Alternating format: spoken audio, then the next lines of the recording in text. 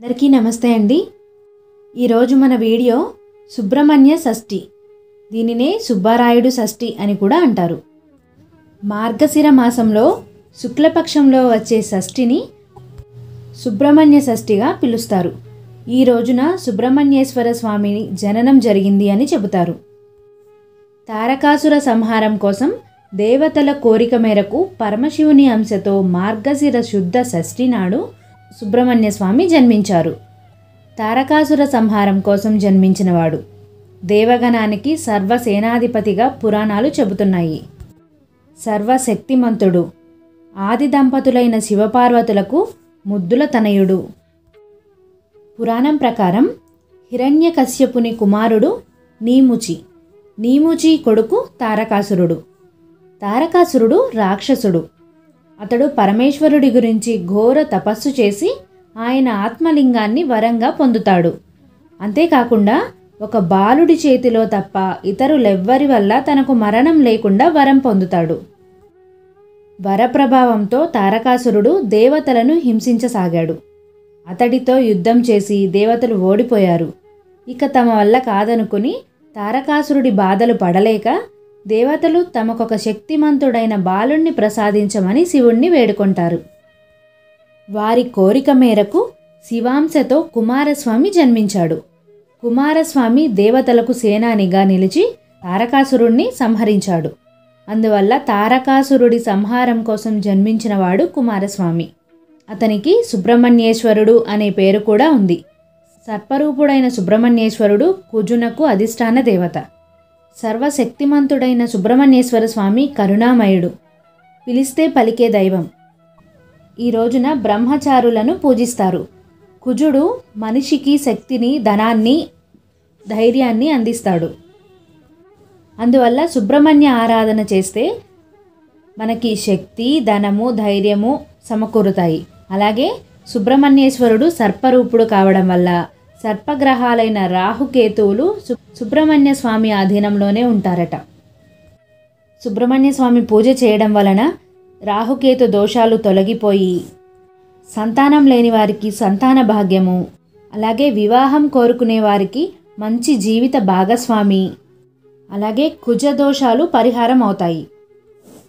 ఈ స్కందషష్ఠి నాడు శ్రీ వల్లీ దేవసేన సమేత సుబ్రహ్మణ్యేశ్వర స్వామివారి కళ్యాణం జరుగుతుంది.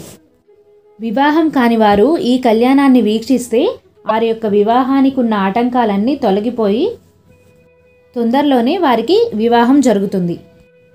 అలాగే మంచి సంతానం కలుగుతుంది. ఈ నెల ఇరవై తొమ్మిది మంగళవారంతో కూడుకున్న షష్ఠి తిథి ఉందండి. దీనిని సుబ్బారాయుడు షష్ఠి సుబ్రహ్మణ్య షష్ఠి స్కంద షష్ఠి అని అంటారు. ఈ రోజున ఉదయాన్నే నిద్రలేచి అభ్యంగన స్నానం చేసి పూజా రూమ్లో కావచ్చు సపరేట్గా ఈశాన్య మూలలో పీట వేసుకొని కావచ్చు ఈ పూజ చేసుకోవచ్చు. ఇక ఈ పూజ ఎలా చేయాలి అంటే ఇంట్లో ఈశాన్య మూలలో శుభ్రం చేసుకొని పసుపుతో అలికి దానిపైన ఒక పీటను ఏర్పాటు చేసుకొని ఆ పీట పైన షట్కోణం ముగ్గును వేయాలి. ఆ షట్కోణం ముగ్గును పసుపు కుంకుమతో అలంకరణ చేసుకొని మధ్యలో ఒక తమలపాకు ఉంచి ఆ తమలపాకు పైన సుబ్రహ్మణ్య స్వామి ఫోటో కానీ విగ్రహం కానీ ఉంచి పూజ చేసుకోవాలి. షట్కోణం అంటే ఆరు కోణాలు. ఒక్కొక్క కోణం దగ్గర ఒక్కొక్క దీపం అంటే ఆరు దీపాలు ఎరుపు రంగు వత్తులు వేసి నువ్వుల నూనె కానీ ఆవు నెయ్యి కానీ ఉపయోగించి దీపాలు వెలిగించి పూజ చేసుకోవాలి. ఈ దీపాలు చలిమిడి దీపాలు అంటే పిండితో దీపాలు కానీ లేదంటే మట్టి ప్రమిదల్లో కానీ పెట్టుకోవచ్చు. ఈ రోజున సుబ్రహ్మణ్య అష్టకము సుబ్రహ్మణ్య అష్టోత్తరం అలాగే సుబ్రహ్మణ్య భుజంగ స్తోత్రము చదువుకోవడం మంచిది. చిన్నపిల్లలు మాట వినకపోయినా మొండిగా ప్రవర్తిస్తున్న ఈ సుబ్రహ్మణ్య షష్ఠి నుంచి మొదలుపెట్టి సుబ్రహ్మణ్య భుజంగ స్తోత్రాన్ని సంవత్సర కాలం పాటు పారాయణం చేయాలి.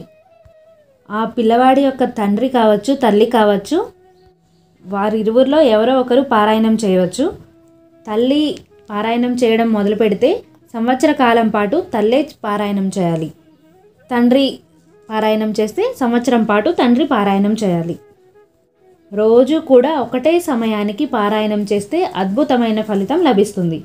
అలాగే వివాహం కాని వారు కూడా సుబ్రహ్మణ్య షష్ఠి నుంచి మొదలుపెట్టి సుబ్రహ్మణ్య భుజంగ స్తోత్రాన్ని ప్రతిరోజు కూడా పారాయణం చేయడం మంచిది. ఇలా పూజ చేసుకున్న తర్వాత స్వామివారికి నైవేద్యంగా ఈరోజు చిమ్మిలిని నైవేద్యంగా సమర్పిస్తారండి. చలిమిడి వడపప్పు చిమ్మిలి నువ్వుల ఉండలు ఈ రోజున స్వామికి నైవేద్యంగా సమర్పిస్తారు. ఇక ఇంట్లో పూజ పూర్తయిన తర్వాత ఆలయానికి వెళ్ళి స్వామివారి దర్శనం చేసుకొని రావడం మంచిది. అక్కడ ఉన్న విగ్రహాలకి కూడా పాలతో అభిషేకం చేయడం మంచిది. సంతానం కోరుకునేవారు ఈ రోజున తడి బట్టలతో దేవాలయానికి వెళ్ళాలి. భార్యాభర్తలు ఇద్దరూ కూడా ఇంట్లోని స్నానం చేసి తడి బట్టలతో దేవాలయానికి వెళ్ళి స్వామిని అభిషేకించి అర్చించి స్వామివారి స్వామివారిని పూజించి ఇంటికి వచ్చిన తర్వాత కూడా ఆ రోజున పూర్ణోపవాసం ఉండాలండి. ఉడికించినవి మాత్రం ఏమీ తీసుకోకూడదు. పాలు పళ్ళు మాత్రం తీసుకోవచ్చు. ఇలా సంతానం కోసం స్వామివారిని పూజిస్తే మళ్ళీ తిరిగి సుబ్బారాయుడు షష్ఠి వచ్చేసరికి వారికి సంతాన సమస్య తీరుతుంది అని చెబుతారు. ఇలా సంతాన సమస్య తీరిన తరువాత స్వామివారికి కావడి కట్టి మొక్కులు చెల్లించుకుంటారు. ఈ కావడిలో పా ఒక కుండలో పాలును ఇంకొక కుండలో పంచదారను నింపి సుబ్రహ్మణ్య స్వామికి మొక్కు చెల్లించుకుంటారు. అలాగే సంతాన ప్రాప్తిని కోరే స్త్రీలు వెండి సర్పానికి సుబ్రహ్మణ్య కేతు మంత్రాలతో ఇరవై ఒక్క సార్లు పాలతో అభిషేకించి ఆ పాలను సేవిస్తే సత్సంతానం కలుగుతుందని మహిళలు ప్రగాఢ నమ్మకం. అలాగే ఏదైనా పుట్టకు నమస్కరించి పుట్ట చుట్టూ ఇరవై ఒకటి లేదా నూట ఎనిమిది సార్లు ప్రదక్షిణ చేసి ఇలా ప్రదక్షిణం నలభై రోజుల పాటు చేయాలి. ఇలా చేస్తే సత్సంతానం కలుగుతుందని అంటారు. ఇదండి సుబ్రహ్మణ్య షష్ఠి గురించి వీడియో. మరొక చక్కని వీడియోతో మళ్ళీ కలుద్దాం. నమస్తే అండి.